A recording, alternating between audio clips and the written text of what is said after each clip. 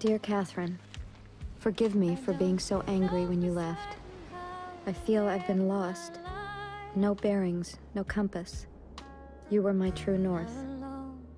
I could always steer for home when you were my home. I still think some mistake's been made. I'm sorry I didn't hold on to you with so much strength that even God couldn't pull you away. Signed all my love, G.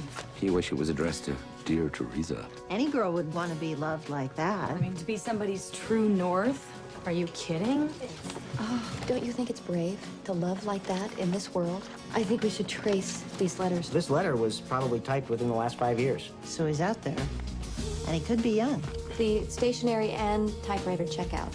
So you find this guy, then what? Take a risk. You got him, Teresa. Now go knock on his door. Is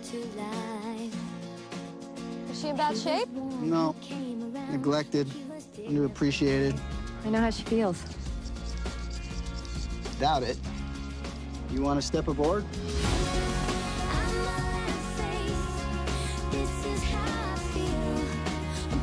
You know, if I was about 150 years younger, you'd be in trouble, young lady.